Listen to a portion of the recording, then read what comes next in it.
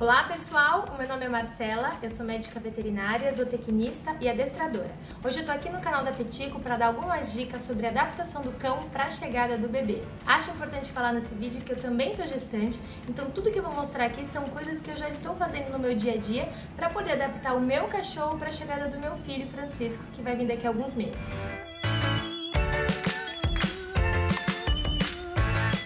começar a falar então que o cachorro ele vai percebendo que a mulher está gestante porque nós mulheres nós vamos passando por algumas mudanças no nosso corpo, no nosso comportamento, no nosso cheiro que são muito perceptíveis para os nossos cães, né? Os cães são animais muito inteligentes e muito observadores, então eles já estão acostumados com um padrão nosso de ser humano.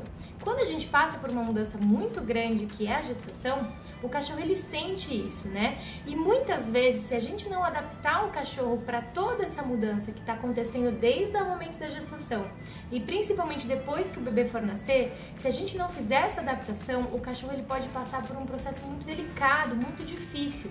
E aí começam a surgir alguns problemas de comportamento. O cão pode ficar mais ansioso, pode ficar mais agressivo, pode ficar mais rebelde, pode fazer mais manha, que a gente vê, a gente observa aquele cachorro que também está mais grudado, que não consegue se desprender facilmente da presença do tutor. Enfim, várias coisinhas podem acontecer. Inclusive, algumas coisas que a gente chama de birra, né? A gente sabe que cachorro não faz birra, não é algo proposital. Mas aquilo é uma forma dele canalizar uma mistura de sentimentos que está acontecendo na cabecinha dele. Então, ele pode começar a fazer, por exemplo, xixi cocô no lugar errado, ele pode começar a realizar algumas destruições dentro de casa, mesmo aquele cão mais velho, que já passou por isso quando filhote, agora não está fazendo mais e de repente, na gestação, começou a acontecer essas coisinhas, como se ele estivesse voltando no tempo. Tem outra coisa também, a gente precisa desde já preparar o nosso cachorro para a chegada oficial do bebê, porque nesse momento que o bebê chegar em casa, toda a rotina da família vai mudar e de uma forma muito brusca, de uma vez. Se o cachorro não estiver preparado para isso, aquilo pode criar uma associação muito negativa da presença do bebê para aquele animal.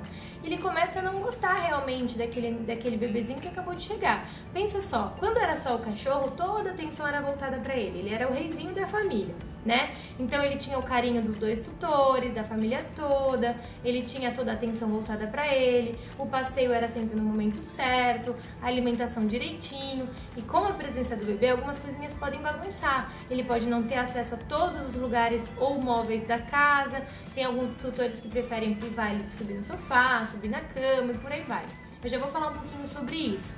Mas é importante que você faça esse preparo enquanto você ainda está gestante. Se você deixar para restringir o animal a várias coisas e aí acabar deixando ele um pouquinho de lado no momento que seu bebê chegar em casa, porque é natural, você vai acabar voltando sua atenção maior para o bebê, esse cão ele com certeza não vai associar a presença do bebê de uma forma tão positiva quanto ele poderia associar se você tivesse feito um preparo legal na gestação. Bom, sabendo de tudo isso, a gente precisa entender qual é o melhor momento para começar essa adaptação. Eu sempre falo, quanto antes, melhor. Então, ali por volta dos seus três meses, quatro meses de gestação, você já vai estar tá começando a ter uma barriguinha, você já vai estar tá começando a mudar um pouco a sua rotina dentro de casa. Então, é legal que você já comece a fazer esses exercícios. Por quê? Porque enquanto você está aí no seu segundo trimestre, você já está mais disposta, você tem mais energia, porque vai avançando a gestação, a gente vai ficando um pouco mais cansada, sem muito tempo, sem muito saco também para fazer muitas coisas, muitas responsabilidades. Então, o segundo trimestre é um momento legal de você começar essa adaptação, tá? E até porque até o seu neném chegar, você vai ter alguns meses, bons meses, para poder fazer isso de uma forma gradual, bem trabalhada, bem detalhada para ter um resultado legal. Então a primeira coisa que a gente vai pensar é na organização do espaço do cão e do espaço do bebê. Hoje, meu cachorro, por exemplo, ele tem acesso à minha casa inteira. Ele pode subir no sofá, até na minha cama, às vezes eu libero que ele suba. Então, o que, que acontece? Quando meu bebê estiver aqui, eu sei que eu não vou querer que ele tenha esse livre acesso, principalmente sem a minha supervisão, porque às vezes meu bebê vai estar naquele local. Eu não quero que ele acorde o bebê, que ele pule sem querer por cima do bebê e machuque o bebê. Então, já que eu vou fazer essa restrição de espaço quando o neném estiver aqui, eu preciso começar essa adaptação agora na gestação, associando isso de forma positiva para o meu cão, ok? Por exemplo, o meu sofá.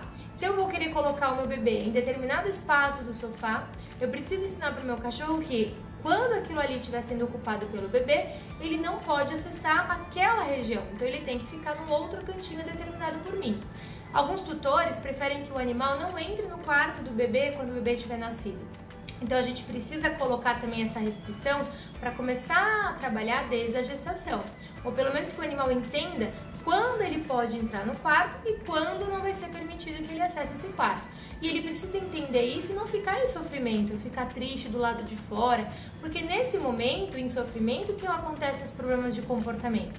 Ele precisa perceber que, tá, eu não posso entrar no quarto agora, mas eu vou fazer outra coisa. Eu vou roer um ossinho pra lá, eu vou deitar pra lá, eu vou interagir com outro tutor que tá fora do quarto e tá tudo bem. Então isso precisa ser construído já. Então para que a gente construa isso de uma forma legal, alguns comandos básicos é muito importante que o seu cachorro saiba fazer.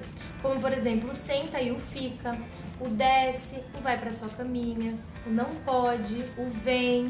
Isso tudo é muito importante que ele saiba fazer e que essa resposta do seu cão seja algo imediato e que ele goste de executar esses comandos.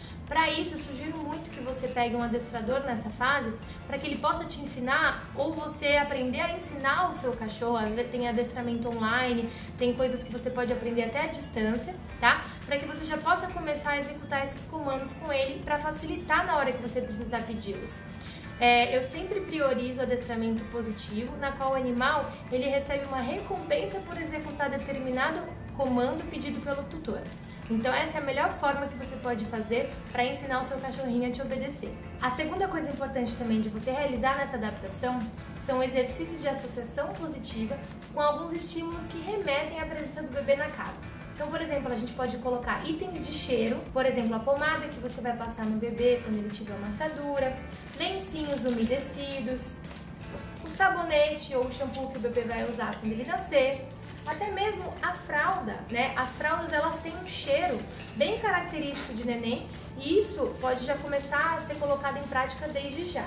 Além dos cheiros, também tem outros estímulos que você já pode começar a introduzir para associar positivamente, como por exemplo alguns objetos que remetem à presença do bebê e alguns barulhos, como por exemplo o choro de bebê ou alguma música que as pessoas gostam de colocar para o bebê para ele relaxar, essas, esses desenhos animados. Você já pode ir colocando esses sons na jogada e associando eles positivamente. Eu tenho aqui, por exemplo, o som de um bebê chorando. Você pode começar a colocar para tocar. É claro que a vibração é diferente, o animal sente uma diferença de se ser um som no celular e um som na vida real.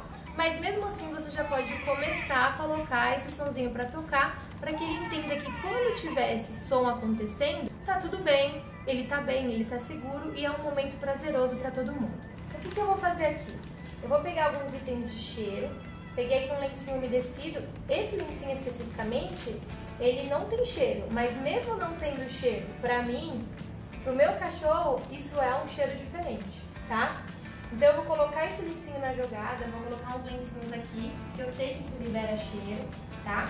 O que, que eu posso fazer também? Eu posso colocar alguns objetos que eu sei que são do bebê, então eu vou deixar esses objetos espalhados aqui por quê? Porque só porque tá aqui não significa que é pro meu cachorro pegar, tá? Então a gente começa a colocar também esse autocontrole na jogada para ele entender que esses objetos, quando estão disponíveis, não é para ele pegar.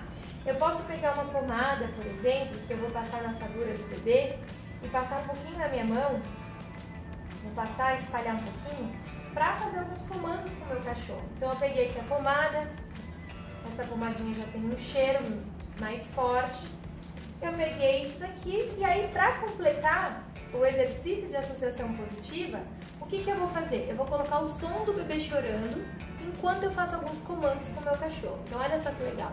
Toca. Tá outra. Depois.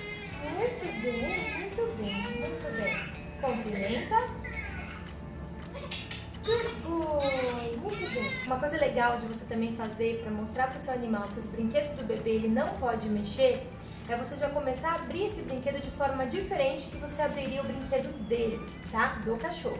Por exemplo, no dia a dia, quando eu pego um brinquedo do meu cachorro e ele sabe que é dele, que ele pode mexer, na hora que eu tô abrindo esse brinquedo, eu já faço toda uma menção de que esse brinquedo é para ele. Então eu falo, olha que legal, um brinquedo pro Lino, tal, tal, tal. Ele já fica super animado. Quando eu vou abrir demais objetos que não sejam brinquedos dele, eu não faço isso. Então, quando eu compro um sapato para mim, eu abro o sapato e não faço todo esse alarde. Quando eu vou comprar um carregador de celular, quando eu vou comprar alguma coisa, eu não faço isso. Então, isso vale também para os brinquedos do bebê. É você diferenciar na hora de manipular a sua atenção do brinquedo do bebê do brinquedo do cão. Então, por exemplo, eu vou abrir o brinquedo do meu filho agora, o Francisco. É um brinquedo que tem cara de brinquedo de cachorro, também com barulho. Mas eu vou abrir esse brinquedo sem fazer nenhum alarde. Eu vou tirar da caixinha e eu vou colocar aqui, próximo. Se por acaso o meu cachorro tiver interesse em cheirar o brinquedo, eu simplesmente vou usar o comando que ele já aprendeu, não pode, ou deixa, para ele entender que ele não pode se aproximar e manipular esse tipo de brinquedo aqui. Não pode esse, tá? Esse não pode, não pode. E aí agora que a gente fala que não pode, e ele já sabe que esse daqui não é o brinquedo dele, olha a diferença para quando a gente vai abrir um brinquedo dele. Mas esse aqui pode! Esse aqui é do Lilo! É que lindo! Vamos ver o que tem aqui. Uau!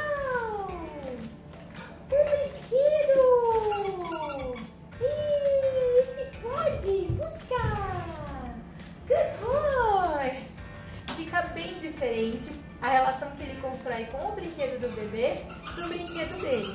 Isso fica muito mais fácil para ele entender e respeitar os brinquedos do bebê daqui para frente. Uma dica legal também para o cachorro começar a se acostumar com o cheiro do bebê é você utilizar o sabonete que você usaria no bebê para ser colocado ali para vocês já poderem lavar a mão.